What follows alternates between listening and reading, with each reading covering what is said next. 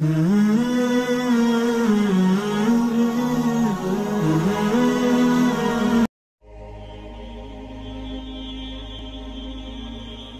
যাই করতে যাই, তাতেই রিয়ার ভয় লাগে। রিয়ার ভয়ে অনেক ভালো কাজ করতে গিয়েও আর করা হয় না। জানি এটাও এক ধরনের ধোকা। কিন্তু শেষমেশ মাঝে মাঝে ধোকাতেই পড়ে যাই। তবুও ভয়, আশা আর ভালোবাসা মিলেই কিছু করে যাই। দান করতে গেলেই মনে হয় কেউ যেন দেখছে। ভালো কথা বলতে গেলেই মনে হয় শ্রোতার মনোরঞ্জনকে আল্লাহর সন্তুষ্টির চেয়ে বেশি প্রাধান্য দিচ্ছি। কোনো এক সালাফা বলেছিলেন, তুমি যখন মানুষের সামনে কথা বলবে, তখন যদি অনুভব করো যে তোমার মাঝে আত্মতৃপ্তি চলে এসেছে, তখন তুমি চুপ হয়ে যাবে। আবার যখন তোমার কাছে চুপ হয়ে যাওয়াটা আত্মতৃপ্তি নিয়ে আসবে। মনে হবে তুমি বুজুর্গ হয়ে গেছো। তখন আবার কথা বলা শুরু করবে। সালাফাদের ইখলাসের কাহিনীগুলো যখন পড়ি, মনে হয় আমার ইখলাস তাদের ইখলাসের ধারের কাছেও নেই। আমাদের ইবাদত তাদের তুলনায় কিছুই না। এই ইখলাস নিয়ে কীভাবে নাজাতের স্বপ্ন দেখি? মাঝে মাঝে নিজেকে মুনাফিক মুনাফিক মনে হয়। মনে হয় আমার মধ্যে নেফেকি আছে। আছে তো? আমি ওয়াদা দিয়ে ওয়াদা সবসময় রক্ষা করতে পারছি না। আমানতের খিয়ানত করেছি। ফজর ও ইশার সলাতে গাফিলতি তো বিরল কিছু না। মিথ্যে কথা সবসময় না বললেও একবারে যে বলি না, তা তো হলফ করে বলা কঠিন। আরেকজনকে যখন মুনাফিক আখ্যা দিয়ে গালি দিয়ে যাই তখন যে আমি মুনাফিকের গুণ ধারণ করে ফেলেছি, তার তো হুতাশ আর থাকে না। কি হবে আমার উপায়? মনে হয় কি, আল্লাহ তো বলেছেন, মাফ করবেন। কিন্তু যদি কোনো কারণে মাফ না করেন, তাহলে কি হবে আমার? ওই হাদিসটা আমাকে বেশ চিন্তাগ্রস্ত করে, যে হাদিসের ব্যবহার তো এরকম।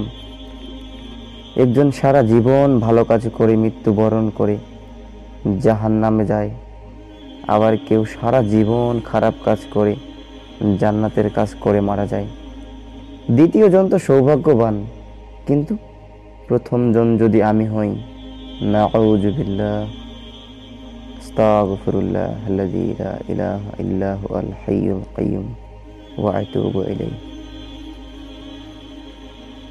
আমরা আমল করার প্রতি যতটা আগ্রহী, আমল কবুলের প্রতি ততটা আগ্রহী নই। অথচ সালাফার আমলের ব্যাপারে যতটা আগ্রহী ছিলেন, তাদের সেই আমল কবুল হওয়ার ব্যাপারেও অনেক আগ্রহী ও চিন্তিত ছিলেন। সালাতের সালামটা ফিরিয়েই দৌড়, মনে হয় বিমান ছেড়ে দিচ্ছে। আল্লাহ সালাত তো আদায় করতে বলেছেন, করছি। আল্লাহ তো কবুল করবেনই। এমন ভাব আমাদের। আল্লাহর কোনো ঠেকা পড়েনি। ঠেকা তো আমাদের। তাই আমাদের উচিত আমল করা আর আমল কবুলের জন্য দোয়া করা। অন্য আমল কবুলের জন্য তো দোয়া করতেই হবে। এমনকি দোয়া কবুলের জন্য আমাদের দোয়া করা উচিত। যার শিক্ষা আমরা সুয়া ফাতিহার শেষ আমিন বলার মাধ্যমে পাই। আল্লাহর রহমতের কথা ভাবলে চিন্তা দূর হয়ে যায়। আবার যখন হিসেবের কথা ভাবি, কপালে ঘাম জমে যায়। কবরের একাকিত্বের কথা ভাবলে শুধু কান্নাই আসে। শুধু ভাবনায় আসে এক মুহূর্তের জন্য কবরের আজাব, জাহান্নামের আজাব। এগুলো কি সইতে পারব? তবু কিসের ভরসায় পাপ করে যাচ্ছি? কোনো ভরসা না থাকলেও তো আশা আছে, আল্লাহ মাফ করবেন। তবে সেই আশায় সবসময় পাপ করে যাওয়াটা বোকামি ছাড়া আর কিছুই না। দুই দিনের এই দুনিয়া, আজ কিংবা কাল ছেড়ে যেতেই হবে।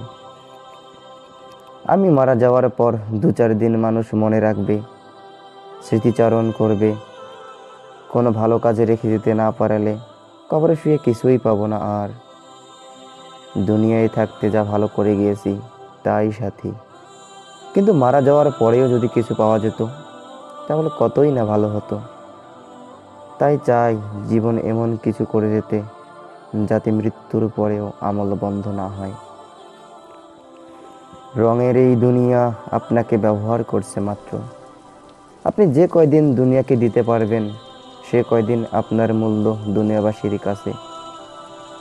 আপনি অসুস্থ হয়ে বিছানায় পড়লেই কিংবা মারা গেলেই আর কেউ আপনাকে মনেও করবে না। কত বড় বড় দাপুডে মানুষগুলোকে দেখেছি, একাকী নিঃসঙ্গ অবস্থায় হাসপাতালের বিছানায় কিংবা নিজের বাড়ির বেডরুমে ধুকে ধুকে মরতে। তারপরেও আমাদের দুনিয়ার প্রতি মায়া কমে না। দুনিয়ার মেকি রূপ সৌন্দর্যের মোহ আমাদের নিকট ভবিষ্যতে আল্লাহর সামনে দাঁড়াবার কথা ভুলে দিয়েছে।